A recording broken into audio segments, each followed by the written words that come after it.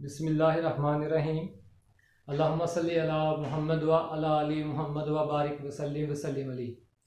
Dear students हम आज जो है वो फ़र्स्ट ईयर बायोलॉजी में से चैप्टर फोर जो है, वो स्टार्ट करने जा रहे हैं। चैप्टर फोर को बेटा जी चैप्टर फोर का नाम तो है दी सेल ठीक हो गया ना जी लेकिन इसमें field of biology cell biology भी डिस्कस किया जाता है।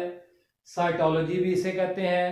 ठीक है the branch of biology which deals with the structure of cells और organelles of cells components of cell molecular cell biology असल में एक मालिकुलर बायोलॉजी फ़र्स्ट चैप्टर में हमने ब्रांच पढ़ी थी। उसकी दो ब्रांचेस होती हैं molecular cell biology and molecular genetics इस चैप्टर में हम मालिकुलर सेल बायोलॉजी के ऊपर बात करेंगे। एक सेल में जो है जो जो ऑर्गेनलीज पाए जाते हैं, वो स्ट्रक्चर में, यानी किन किन मैक्रो और माइक्रो मालिक्यूल्स के से बने हुए होते हैं। और दूसरा जो है, वो सेल्स के अंदर या लिविंग ऑर्गेनिजम्स के अंदर जो है, वो क्या रोल प्ले करते हैं, क्या फ़ंक्शन प्ले करते हैं। लेकिन उससे पहले बेटा जी, आइए जरा सेल की तीन डेफिनेशंस जो हैं, वो पढ़ते हैं। पहली डेफिनेशन ही सबसे ज़्यादा मोस्ट इंपोर्टेंट डेफिनेशन है। पहली डेफिनेशन सबसे ज़्यादा मोस्ट अगर आपसे कोई पूछे डिफाइन सेल तो आपने डेफिनेशन नंबर वन ही उसको बतानी है। ये तो हमने आगे किताब के मुताबिक लिख दिया। The structural and functional unit of life is called cell the smallest unit that can carry out all activities of a cell अगर हम सांस लेते हैं तो हमें ऑक्सीजन इस्तेमाल करते हैं तो सेल भी ऑक्सीजन इस्तेमाल करता है। ठीक है ना? हम खाना खाते हैं तो उसको डाइजेस्ट करके उससे मटेरियल्स और एनर्जी हासिल करते हैं सेल भी ऐसा करता है। ठीक है ना जी? तो हम दिमाग से सोचते हैं तो हमारे दिमाग में पाए जाने वाले सेल जो है, वो इस सोचने में हमारी हेल्प करते हैं।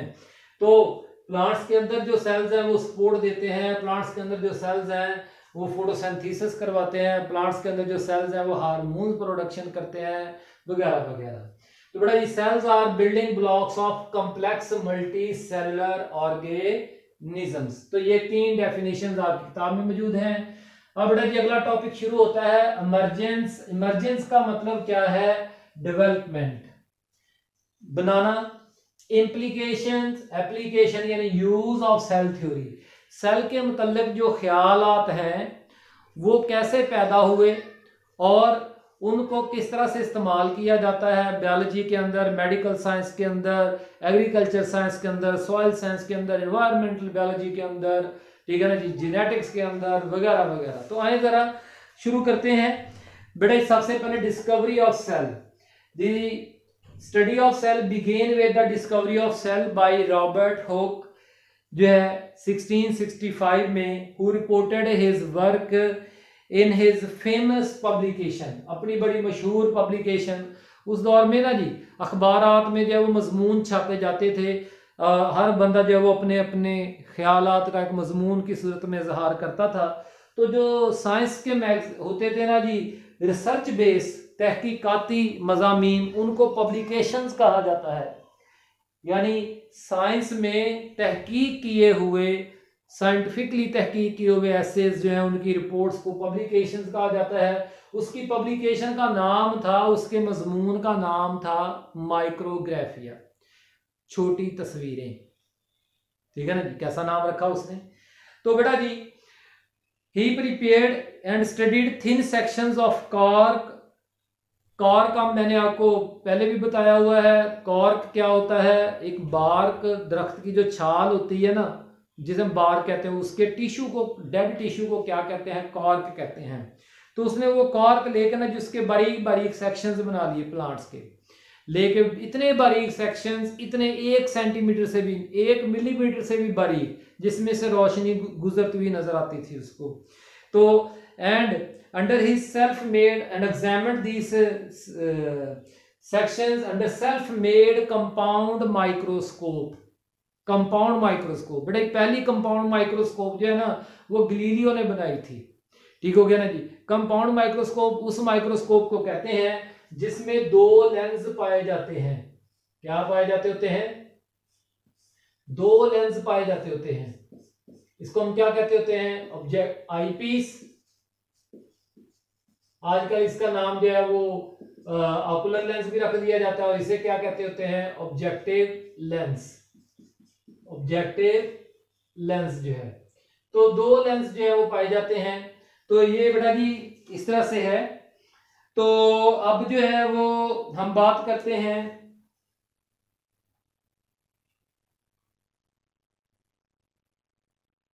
अच्छा जी तो दो लेंस इसमें पाए जाते हैं, इसलिए जो है ना वो इसको कहा जाता है कंपाउंड माइक्रोस्कोप ये मैंने पूरी नहीं बनाई, अगर आप ऐसे करके वो बना बनू देंगे ना तो वो सारी बन जाएगी। खैर, हमारा भी नहीं है। तो वहाँ पे उसने उस कॉर के सेक्शन के अंदर उसको क्या नज़र आता है?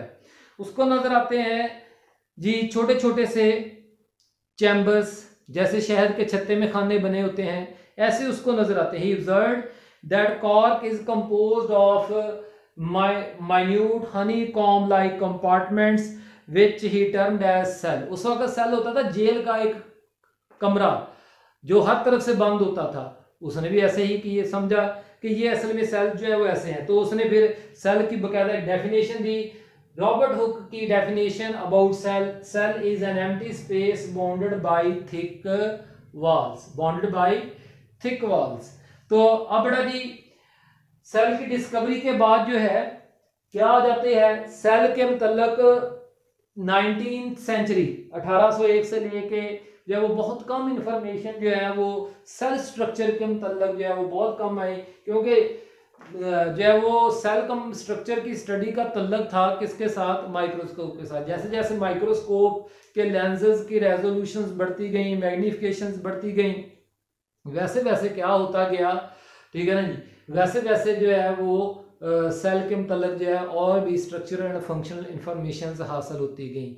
इसलिए नाइनटीन सेंचुरी में बहुत कम जो है वो सेल के मतलब पता चला, लेकिन सेल्स से मतलब बातें सेल के इस्तेमाल के मतलब बातें जो है वो आई। जैसे लॉरेंस ओपन 1805 में are living beings originate from are concepts of vesicles or cells तो लॉरेन ऑकन्स जो है वो कहता है कि जितने भी जानदार हैं, वो या तो सेल्स के बने हुए होते हैं या सेल्स से पैदा हुए होते हैं। तो जो है जीन बैप्टिस्ट डी लामार्क 1809 में कहता है कि no body can have life कोई लिविंग ऑर्गेनिज्म उस वक्त तक ज़िंदगी नहीं रख सकता। इफ़ इट्स कॉन्स्टिट्यूंट पार्ट्स अगर उसके बॉडी पार्ट्स चाहे वो ऑर्गन्स हैं टिश्यूज हैं या, ठीक है ना जी? आर नॉट सेलुलर टिश्यूज यानी वो सेल्स के बने हुए हों, ना बने हुए हों तो उस तरह से। और not form by cellular tissues तो ये बेटा जी 1831 में 1831 में रॉबर्ट ब्राउन जो है, वो जो है वो प्लांट सेल के अंदर जो है वो प्लांट सेल जो भी डिवाइड कर रहे थे ना जी, उसके अंदर उसने जो है वो पहली मरतबा न्यूक्लियस डिस्कवर कर दिया, जिससे जो है वो सेल के मतलब जो बेसिक कंसेप्ट था कि cell is an empty space वो बदल गया। कहा गया कि cell is not an empty space तो बेटा जी it was later established that cell is not an empty space a German zoologist Theodor Schwann 1839 में एंड शिलाइडन 1839 जो कि एक बॉटनिस्ट है, वो भी जर्मन था। इन दोनों ने जो है वो अलग अलग लेबॉर्ट्रीज में काम किया अलग अलग तहकीकात की and came out with the theory called cell theory तो इनकी थ्योरी के मुताबिक जो है, इनकी थ्योरी के मुताबिक जो है, वो सेल जो है, उसके तीन बेसिक पार्ट्स होते हैं। किसी भी सेल के three basic parts of a cell इनकी तहकीक के मुताबिक नंबर एक जो है, वो बेटा जी, क्या न्यूक्लियस नंबर एक पे न्यूक्लियस चाहे प्लांट सेल हो, चाहे एनिमल सेल हो, और दूसरा जो है the fluid surrounding the nucleus जिसे क्या कहते हैं? साइटोप्लाज्म ठीक है ना जी? इससे पहले, यानी कि 1831 तक जो है लोग ये समझते थे कि सेल जो है उसकी एक बाउंड्री होती है और उसमें एक न्यूक्लियस होता है, रॉबर्ट ब्राउन की डिस्कवरी के बाद। लेकिन स्लाइडन है शिवान के काम के बाद जो है, वो कहानी कुछ बदल गई। क्या होगा कि सेल के अंदर जो है, वो तीन बेसिक पार्ट्स होते हैं nucleus cytoplasm fluid surrounding the nucleus and outer thin covering membrane outer thin covering membrane called plasma membrane जो कि उस फ्लूड यानी साइटोप्लाज्म के इर्द गिर्द पाई जाती है। अलबत्ता जो है, एक सेल वाल जैसी additional layer in plant cells additional protective layer in plant cells in plant cells तो बेटा जी, ये उस वक्त हो गया तो ये cell wall they said was additional structure which present only in plant cells तो keeping in view this definition of cell अगर अब कह दें कि सेल के मतलब ये ख्याल रखते हुए सेल कुड बी ऑब्ज़र्व तो सेल की डेफिनेशन बदल गई। शिलाइडन और शिवान ने कहा कि cells could be observe in plants as well as in animals तो according to the cell theory जो उन्होंने पहली cell theory first working cell theory उसका पास्टुलेट क्या all living organisms are composed of cells and cell products तो बेटा जी यहाँ से अभी एक छोटा सा पैराग्राफ है पेज uh, 47 के ऊपर applications of cell theory applications of cell theory अभी तक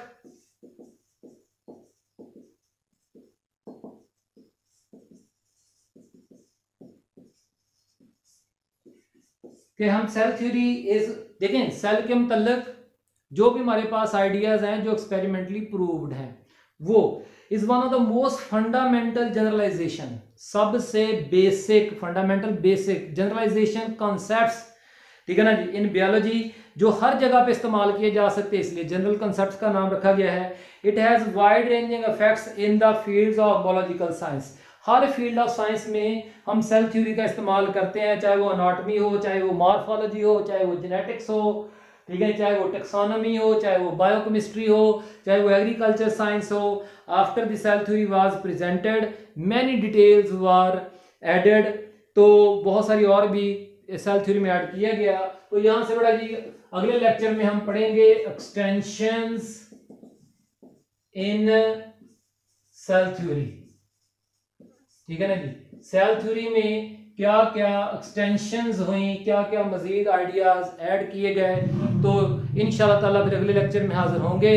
तो अल्लाह ताला हम सब का सबके लिए आसानियाँ पैदा फरमाए। आमीन। शुक्रिया।